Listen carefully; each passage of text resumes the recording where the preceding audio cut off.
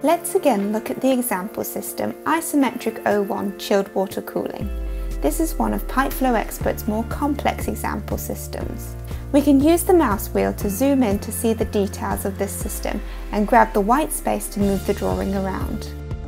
If we click on a pump, the pump data that has been entered is displayed and the pump performance curve plotted. There are options to edit and configure the data displayed, given when we click Graph Options.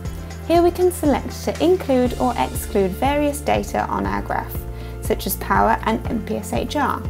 Pipeflow Expert also has a number of tools that adjust the data in order to match your pump's performance exactly.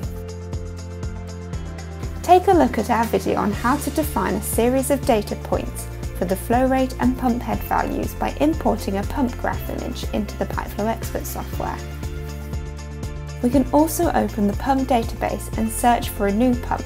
Suppose we want a pump which can produce 1,650 litres per minute and a pump head of 45 metres fluid.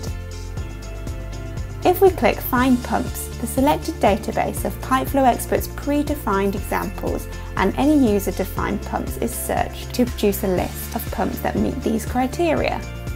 Looking through this list will display the associated pump curve below, as well as show us data on pump efficiency. This pump looks good and has a good efficiency.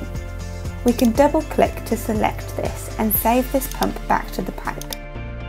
Now, if we go ahead and calculate using this new pump, the system is solved.